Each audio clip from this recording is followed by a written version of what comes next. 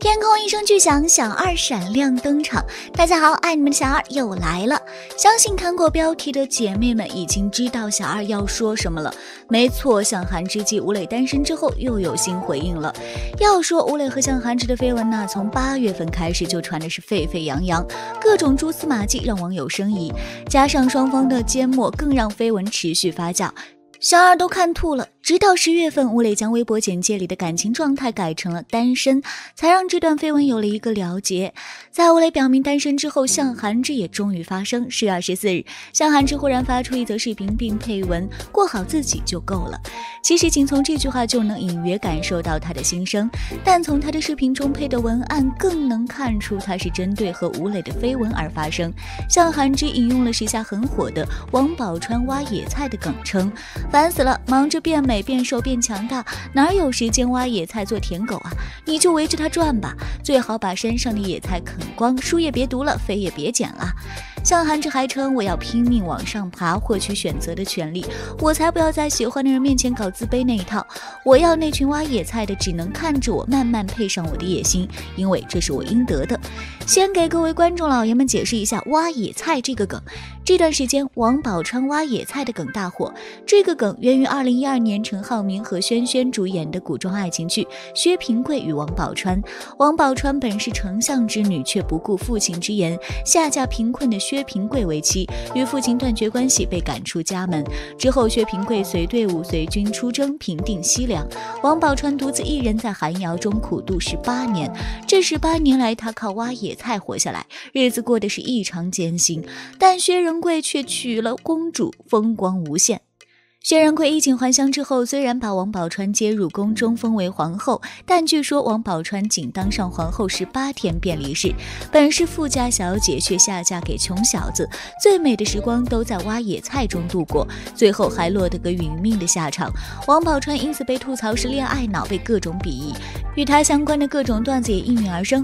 向寒之发的这条段子，便是很明显的在吐槽王宝钏恋爱脑，也是在回应和吴磊的绯闻。对于他的发声，网友却并不买账。有网友质疑：现在才回应，为什么当时不说？其他网友也表示附和称：如果当时他澄清了，这个事情就过去了。可是他一边吃着绯闻的红利，又一边说过好自己，真的让人看不懂。在绯闻传得最沸沸扬扬的时候，向寒之选择沉默；但在吴磊宣布单身之后，向寒之的态度才姗姗来迟。他这样的做法也被吐槽是蹭热度。还有网友觉得向寒之越描越黑，发布的视频中有不少元素和吴磊发的都很吻合。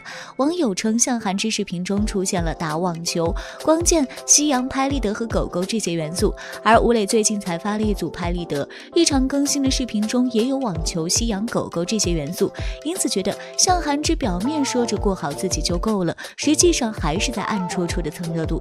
此外，还有不少网友继续嘲讽向涵之，戏谑其为出道作王安宇，代表作周翊然。成名作吴磊最新作品《王鹤棣》，而这条评论几乎会出现在向寒之每条动态的评论区。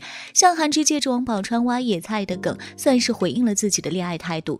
本以为给他和吴磊的绯闻画上一个句号，没想到越描越黑，依旧引来这么多的吐槽，实在让人始料未及。有人说向寒之错过了最佳澄清时机，因此在吴磊发声之后，最好的方式就是沉默。如今他这样操作反而让人反感。但也有人觉得网友对。对向寒之的恶意太大，既然对方大大方方的否认，那就让这段绯闻翻篇吧。小二也希望大家更多的去关注吴磊的作品。这几个月里，爱奇艺凭借《底线》我的反派男友小火了一把。相比之下，老对手鹅厂的势头就不太好了。自从暑期档的星汉灿烂出圈之后，再也没有什么出圈作品。原本鹅厂使了个大劲儿，终于将《爱的二八定律》定档，放出的新预告里，杨幂和徐凯这对高颜值 CP 各种甜蜜互动，让人上头。可可是，却因为不可抗力又临时撤档，迟迟没有新消息传来。而鹅厂还将不少热门大剧护得死死的，顶流肖战搭档任敏主演的《玉骨遥》剧中男女主上演虐恋情深的戏码备受瞩目。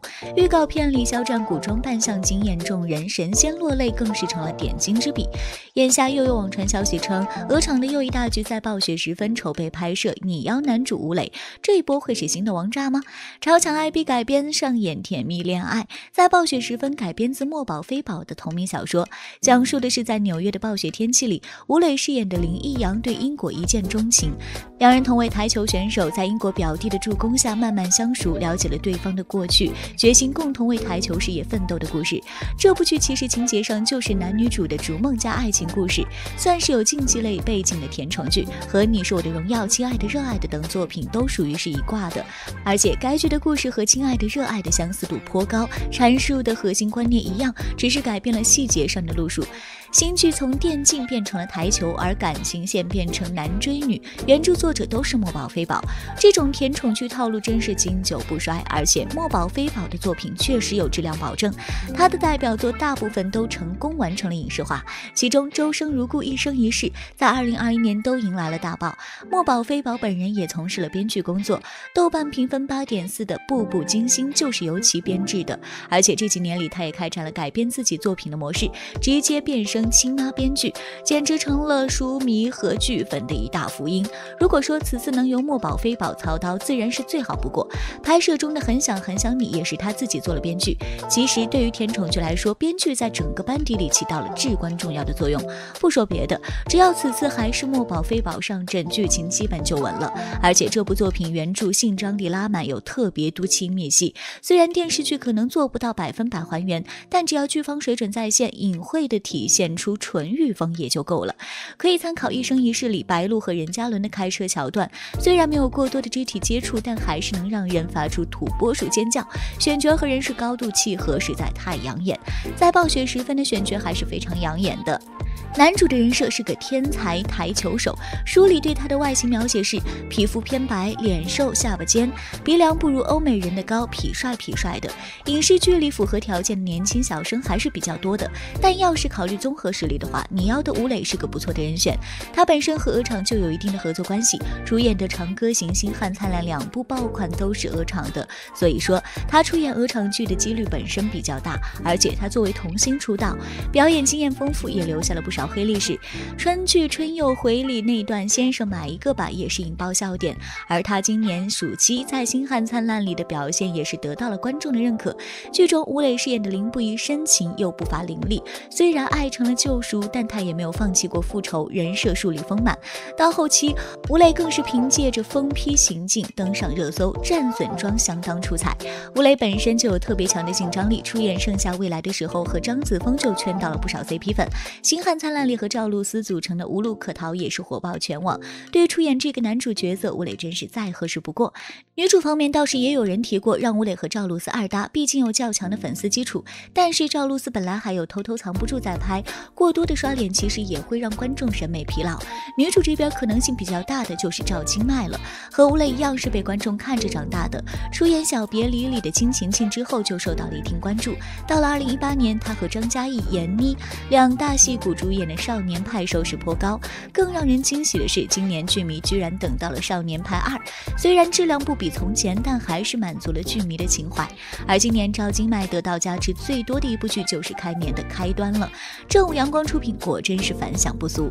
热播期间屡次斩获全网热度第一，聚焦循环题材，深度解读人性。赵今麦在这部剧里真是贡献了高光演技，每一次的循环醒来，他都演绎出了不同层次的变化，眼神戏、爆发戏再现。给了观众绝佳代入感。重点是赵今麦的长相恰巧就是那种可盐可甜的邻家妹妹，和书里女主的外形，脸白里透红，鼻子小，眼睛大，脸圆圆的，下巴也不尖，美的毫无攻击性，很甜，全都高度吻合，简直就是天选女主。吴磊和赵今麦他俩搭档，也算是姐弟恋横行的影视市场里的一股清流了。虽然说接连带感，但还是有不少观众更喜欢看少男少女谈恋爱。青春洋溢着，才能最大程度还原出书里的氛围感。看来颜控粉有剧追了。总而言之，在暴雪时分的剧情走向还是颇具看点的。天才台球手和明媚少女的爱情故事，将甜恋和励志做了结合。只要不魔改原著剧情，绝对是稳了。如果是亲妈编剧，自然是再好不过。男女主从新生代演员中进行挑选，实在是太难得了。终于能见到青春期恋爱，属实是没有白等。